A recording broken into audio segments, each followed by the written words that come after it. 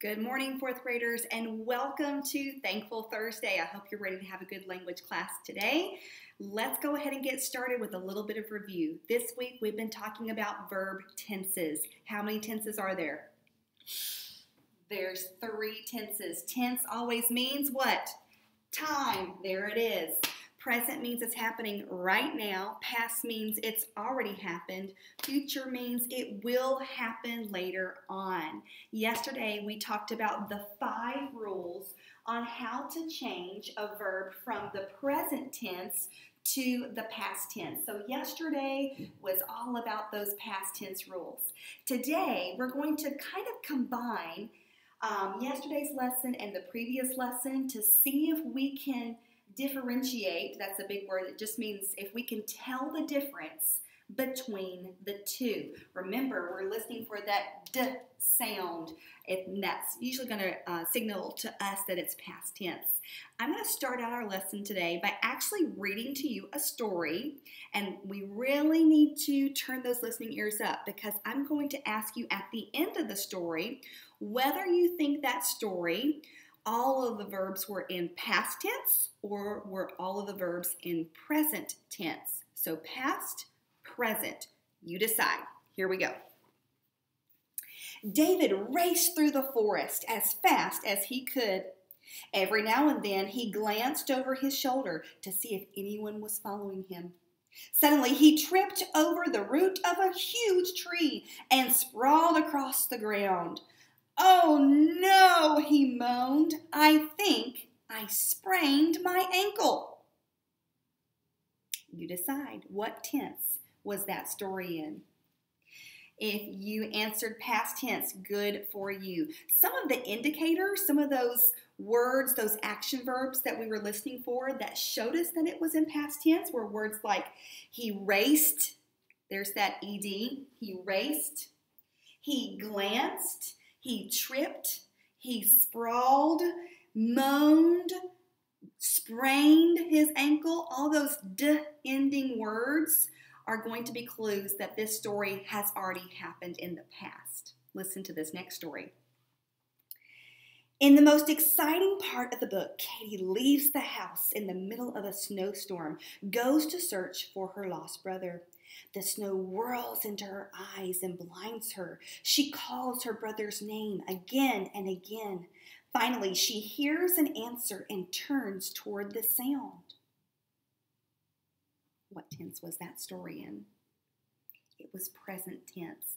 I'm going to read through some of the verbs that I read in the story. Verbs like leaves, goes, swirls, blinds, calls, hears, and turns. We usually use present tense in our writing if we're talking about um, a story that's happening in today's time.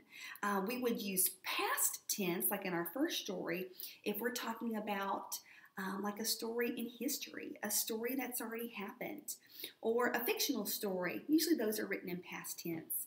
But if you're talking about something that's happening in our time, that's that story is usually going to be written in present tense.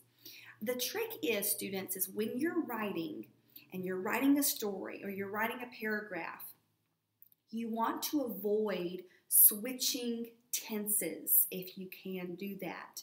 If you're writing a story that's already happened, you want to stick with that past tense. So that means all of your verbs need to be in the past tense. You would never go from past to present. We're not going to switch between those. So, what I'm going to need your help with today is help with completing page 205. Now, I've actually written the um, a lot of this page up on the board. I'm going to move my monitor in just a second. And our job for the first story that we're going to read about a beaver our job is to take all of the verbs and change them to past tense because remember, when we are writing a story, we want all of the verbs to be in the same tense. We don't want to flip flop between present and past, past to present. So let me go ahead and get my monitor all switched over. Here we go. All right. Can you see? Hope so. All right, there we go. Let's take a look at the first one. The beaver blank in the dirt. Now, all of this has already happened. It's happened in the past. So we're going to take roll, and that applies with our first rule. Let me move this just a little bit so you can see our rules from the other day, okay? The first rule was just add an ED. I apologize about the glare. I'm so sorry. So we're going to do that. R O L L E D there. The beaver rolled in the dirt. Just add an ED. Just add an ED. The beaver look dirty. Not right now. This happened in the past. Add an E D. L O O K E D. Ants crawl into the beaver's fur. Ooh. Add an ED.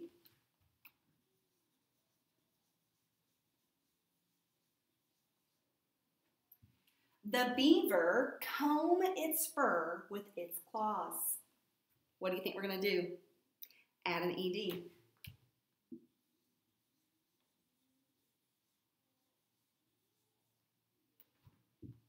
It blank itself carefully. Do you notice that this is the rule that we use more than all the others? It's still important to know the rest. Sometimes we have to drop an E or double the final consonant if we have a short word that ends with a short vowel sound in a consonant, or change the Y to an I before we add an ED. But here it's just going to be groomed. Add an ED. For the next story about a fox, we are not writing those verbs in the past tense. We're practicing writing those verbs in the present tense. Remember, we do have a couple of rules for present tense. We have to decide what kind of subject we have, whether it is a singular subject or a plural subject. And they have to agree. The subject has to agree with the verb in number order. So if we have singular over here, it's got to be singular over there. Singular verbs end in S. Remember that S is kind of like that volleyball that we're passing back and forth, one side to the other. If the subject has the ball, the verb will not. The ball is the S, okay? So here we go. The red fox hunt in the forest. Who or what is that entire sentence about? Fox. Okay. Fox is singular. Singular means one. Is the volleyball living here? The S? No. So that means the volleyball needs to be over here. We need to put an S at the end of hunt. H U N T S. This is singular. This is singular. Singular verbs end in S. Let's keep going. It blank very carefully. It blank very carefully. Who or what is that entire sentence about? It. It is singular. Singular means one. No volleyball there. So we have to have the volleyball or the S over here. M O V E S. It moves very carefully. The crafty fox blank toward the rabbit. Who or what is that entire sentence about? If you answered fox, good job. Fox is our subject, F O X. Fox is one, it is singular. No volleyball over here, no S. So we need to have an S over here. C R E E P S. This is a singular verb because singular verbs end in what? S. Singular verbs end in S. It blank close to the ground. What is our subject? It. Is it singular or plural? Singular. So we need to have a singular verb. Singular verbs end in S. But look carefully at this word. We can't just put an S on that. What does it end with? CH. What is our rule? Say it with me. C H S H S X Z. Add an S behind the E. Not just S, not just E. ES does it accurately. So for crouches, it should be C R O U C H E S. Crouches is now a singular verb because singular verbs end in S. Why did we have to choose a singular verb? Because we already have a singular subject and they must agree in number. It crouches close to the ground. The last sentence, here we go, and we'll be done with this story that's written in present tense. That means it's happening now. The fox blank on the rabbit. Now, here, let's take a look at this. Pounce is the word that we have. Trying not to give any answers away. Did you see that? The fox blank on the rabbit. The subject is fox. How many foxes do we have? Just one. If this is singular, the verb needs to be singular. There's no volleyball over here, so there has to be a volleyball over here. That means we're going to add an S. There we go. The fox pounces on the rabbit. Let's take a look at that bottom section of your book. I'm going to move my monitor back over. There we go. All right, thank you for your patience, students. It says most of the verbs in this paragraph are past tense. Proofread the paragraph. Use proofreader marks to delete the verbs that are not past tense and add the correct past tense verbs. I'll read the story. You can follow along. Four raccoons lived in the hollow tree. They seemed curious. Father raccoon opens some garbage cans. The baby raccoons hunt through the garbage. Mother raccoon unlocks the chicken coop. The raccoon family explored everything. This story is supposed to be written in past tense. That means all of the verbs that are in this entire story must end with the d sound if we're talking about past tense. So let's take a look. You know I ask you usually to number the lines, so let's take a look at line number one. Line number one, our verb, we actually have two verbs. The first verb is lived and seemed. Do those words end with a d sound? Yes, they do. So those are already past tense. Look at line number two. Our verb is opened. Does that end with a d sound? Yes, it does. So that is okay. Line number three. Our verb in this line is hunt. Hunt. Did you hear a d sound? I didn't. So here's how we need to fix that or correct it. Take your pencil, draw a straight line, and delete hunt. Now we're going to use our pencil to add in the correction. Draw your caret, and in the space, we want to put hunt in the past. So let's add our ed. That is good to go. There's one more though. Line number four. The verb is unlocks.